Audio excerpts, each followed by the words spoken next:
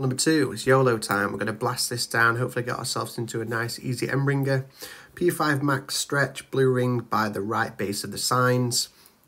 Check your wind angle. We're either going to do nothing or we're going to be moving half a ring to the left or one ring to the left, depending on the angle. Okay, let me just go in to take a screenshot here and just explain the wind angles here. There's quite a lot going off on this. So basically, if we look in the background, if your wind angle here you would assume that your angle would be pointing somewhere towards the sign. This is do nothing. Yellow is between the sign and the middle of the tree. And blue, you're going to be almost right across the signs or along that big tree there. Red, do nothing.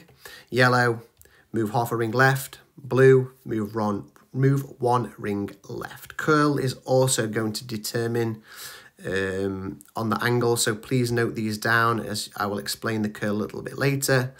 Let me just continue the video and explain a little more. This particular one here is blue, so I'm moving one ring to the left.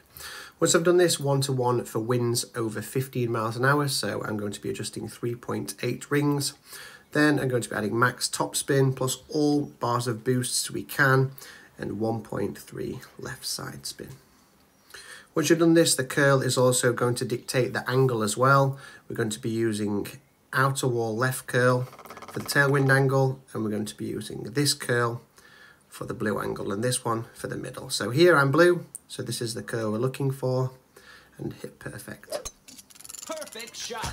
Risk reward, kind of need to hit perfect to be honest. You might get lucky with the great, but what we're going to do is look for this beautiful camera angle. It's going to give us a couple of bounces down the fairway, we slide down the green, leave ourselves a really, really easy end ringer. We're even going to get an end ringer from green side here, or if you have an end ringer on the hill, that's going to play slightly differently. Or if you do creep into the rough, max top spin with your rough iron, it's like half a ring, and it's an easy chance for an albatross.